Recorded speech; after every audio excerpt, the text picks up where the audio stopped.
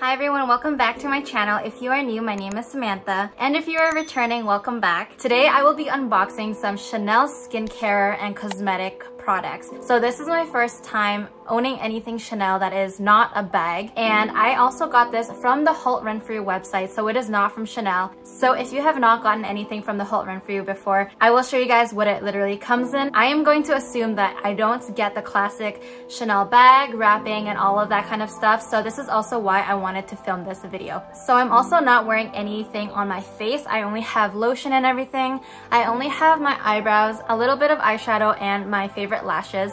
So I am going to be trying on a couple of the things and let you guys know my first impressions as well. So like I said, I got this from Holt Renfrew and it came with two boxes because I did order them separately. I was a little bit hesitant on what to get and if it was worth it, but there was a sale going on at Holt Renfrew that was about 10 to 15% off all makeup and skincare items and I was originally looking at this on the Chanel website, but of course, no sale, but I coincidentally went on to Holt Renfrew and all of these items were on sale and I will put the screenshots here. Even though the savings are not a crazy ton, I feel like as long as I'm saving in any way possible, that's all that matters.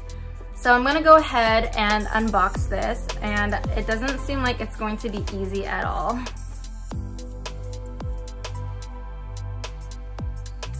Okay, so far it looks like this. And if I can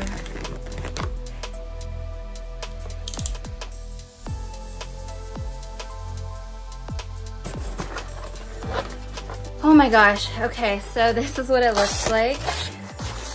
Just a ton of stuffing. I can see my product here. An envelope. And more stuffing. And just a little note that is for you and that kind of stuff. As predicted, of course, it didn't have like, you know, the Chanel bag and whatsoever. I think this is going to be my receipts. Yes, so this is my receipt on what I ordered. I'm gonna quickly do the other box too.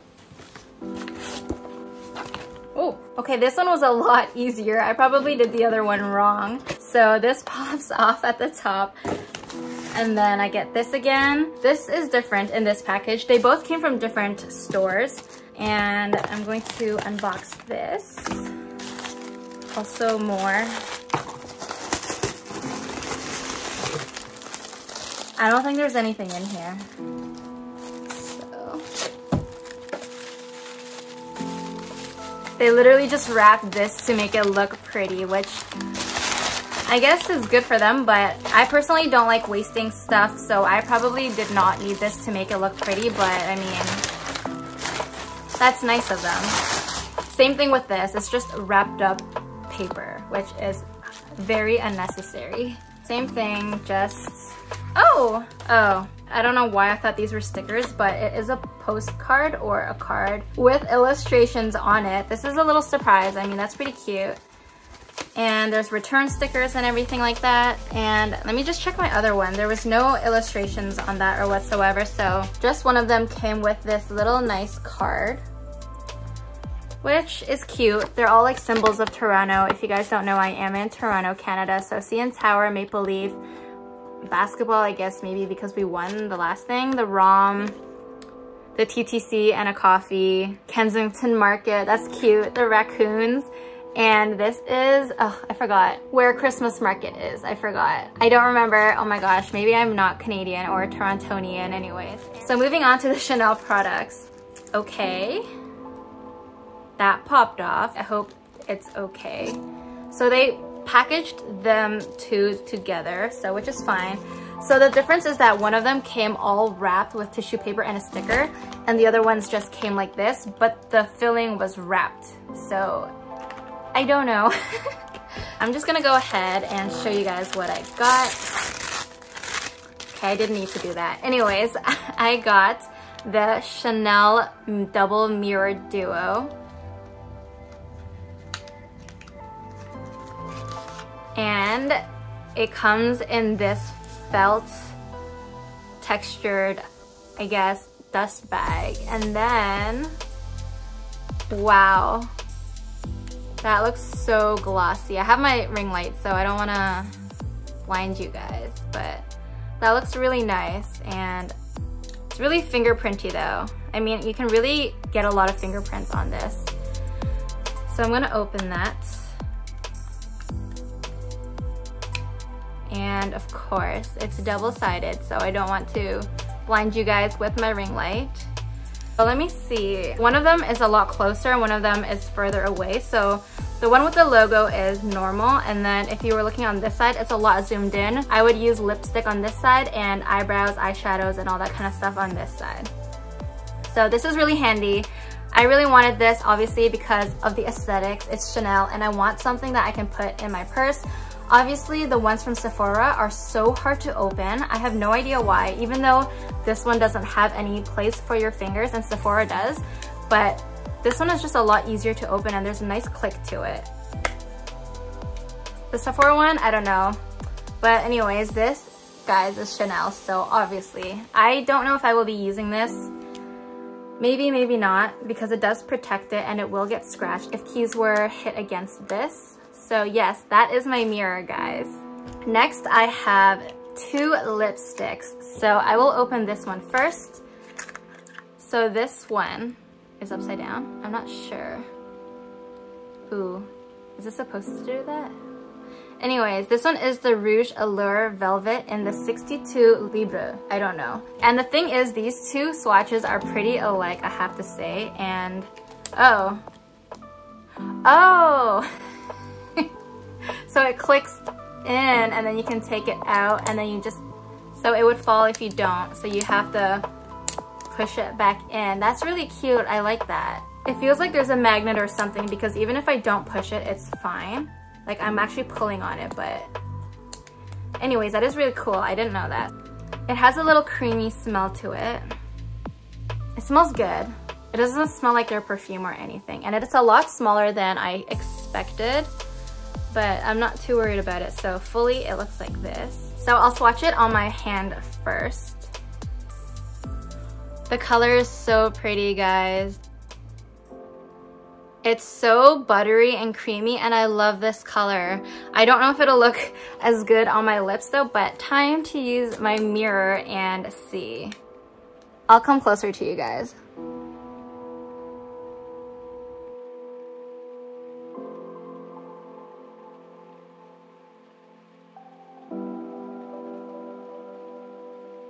What do you guys think?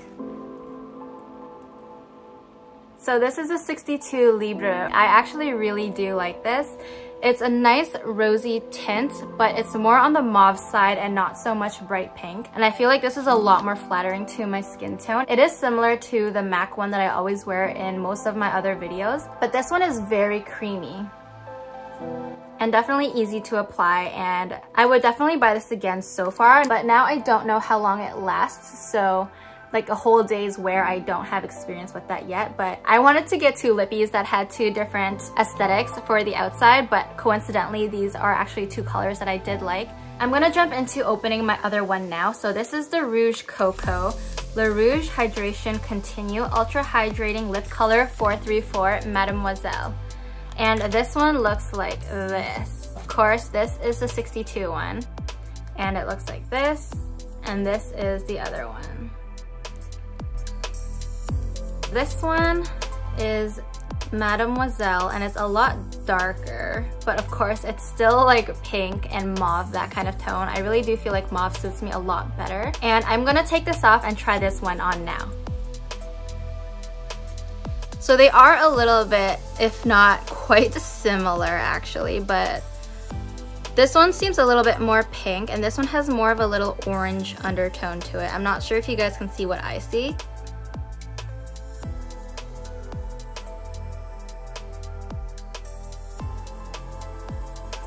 We will see what this looks like on my lips.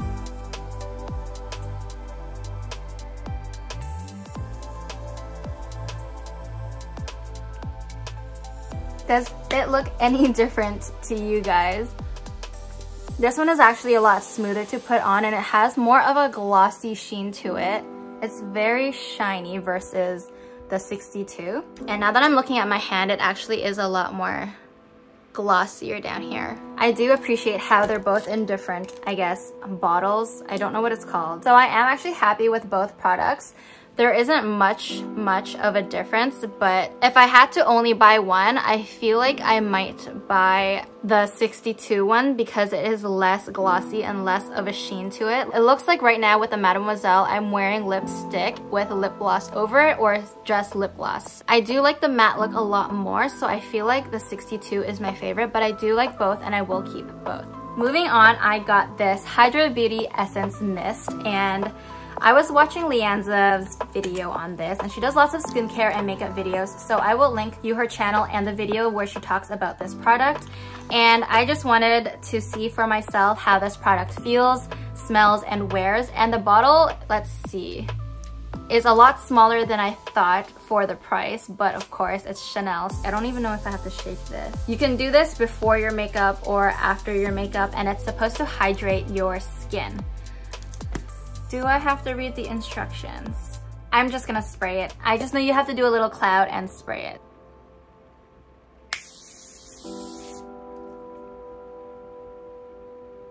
Okay, it has a fragrance to it, but to me, I feel like it's better than the Chanel perfumes. Like I personally, as much as I do like Chanel, I don't like their perfumes. It kind of smells like old grandma vibes, not in like, not in a bad way, but not in the best way for me. I wouldn't wear their perfumes. I do like the bottles, aesthetics, and everything, but this does smell very refreshing. It definitely can make you feel like you're hydrating your skin based on just the smell alone. But I don't really feel anything on my face. I feel like I'll do it again. Mm.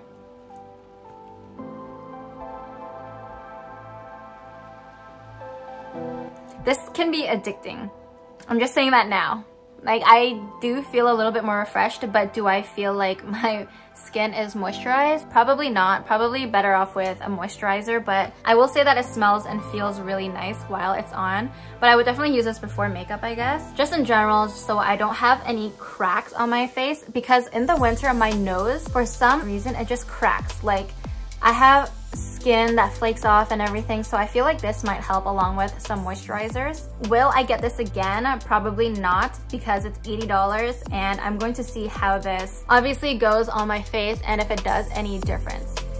So the last item I have is this beautiful Chanel Les Beiges Eau de Teint Water Fresh Tint in Medium Plus. I got all of this online, so I have no idea what shade I am, but I feel like Medium Plus will work. All I know is that you have to put it on your hand first, a pump, and then mix it in circular motions until the sheen breaks down and then you apply it to your face. I am going to do that now since I don't have anything on except for the mist and that doesn't really matter. I'm really close to you guys. I'm going to do, ooh, that's a lot. It's very runny. So I think this is good for my skin color. Let's see. It looks like water on my hand. That's how light this is. So I read that this is really good for people who just want something really light and that I guess don't already have any blemishes that they need to fix or whatever. And it's not full coverage at all, so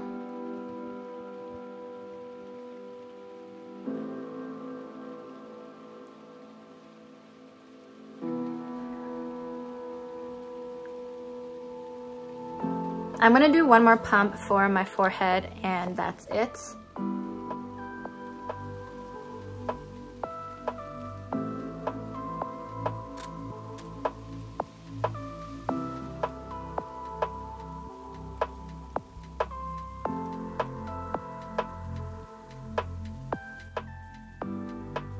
Okay, so I have it all over my face now, and I would say it's a very, very light finish. So with this product, I feel like I'm okay with it. It doesn't bother me because I don't really need foundation or concealer to begin with. So I think if I use this and just put some setting powder on, I would be okay with going out or even filming. It's kind of nice of a dewy finish and it's very lightweight, which I really like a lot. I hate that cakey feeling when I just like smile and I can see like those wrinkles and all of that and I can feel it that it's really heavy. So I'm actually impressed with this. I know there are lots of people that don't like it, but it could be that they have different skin types or they're looking for something that has a lot more coverage because it isn't cheap and to not have anything, I guess, cover at all. It can seem a little bit underwhelming because you are paying for something. You would kind of feel like it should cover more, but that is not the case with this. It is really just a little water tint. It's really just supposed to be moisturizing and lightweight. So even on my hand, this looks like a spray of water and it is very light and I love the feeling of it. Let me see if I can cover that.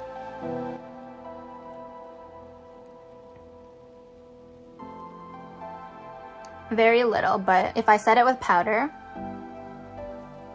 it wouldn't be an issue.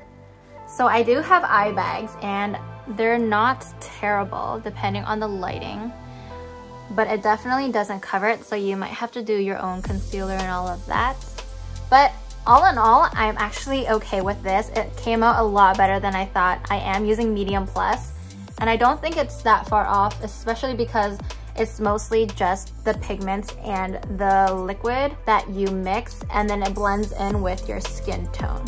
I definitely could have probably gotten regular medium, but I feel like summer, obviously I'm gonna get a little darker and it kind of works out in my opinion.